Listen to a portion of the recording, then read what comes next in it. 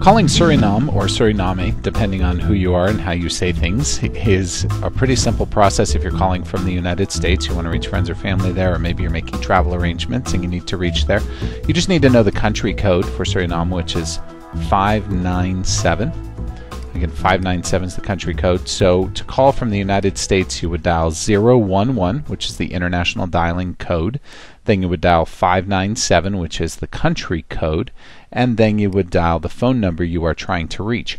Again, the country code, Suriname, is 597. But I wouldn't really recommend calling direct. Your phone company will charge you a lot of money. If you want to call a phone number, I really recommend using Skype. We detail how to make free and low cost calls using Skype in other videos. If you want to call your friend's computer, you can also use a few programs that will let you call for free. Of course, if you have Skype and they have Skype, you can call using Skype, and you can click over here to learn more about that if you'd like. If you're on a Mac, you can use FaceTime, and it's possible that FaceTime may be coming for PC in the future as well. But if you're on a Mac and your friend is on a Mac, then you can both use FaceTime either on an iPhone or any other Mac enabled device, as long as you both have Wi Fi or an internet connection. And another option, if you're on a cell phone and they're on a cell phone, then you can use something called WhatsApp. And inside of WhatsApp, there is a calling feature.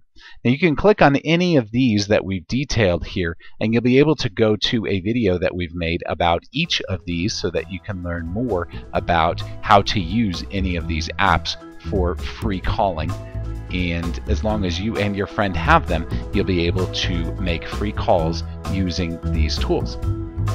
If you liked this video, please be sure to give it a thumbs up below. Be sure to subscribe as we have more helpful videos almost every single day. If you have any questions that we can answer for you, please be sure to come and visit us at showmehowtodothis.com.